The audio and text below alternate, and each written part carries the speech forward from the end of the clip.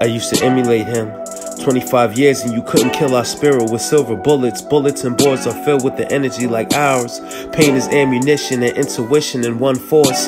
A course of sorcery, a source of black magic in the unlikeliest of places. A space that began in 1998. I was introduced to words, and she's been my concubine ever since. And since my heart beats in metaphors, Anthems become voices we speak in and present our life's work for life hurts and our worth is determined in our ability to convey the words that make sense of a people who've been through a continual unthinkable. I think of you as a battery when I'm feeling low in need of a naturally born love, an amorous touch of emotion, approaching a level of unparalleled passion, everlasting and a laughter of the seemingly defeated, seemingly demon dusted, trusted with the protection of the future. The firstborn is worth more than not embracing the veracity of the past. In past times, the greatest pastime was the pastime discovering myself, recovering from a world designed to smother me in the decline of my past bodies, who probably were the closest to God as the earth has ever been, and all we've ever been was the conception of connecting to a high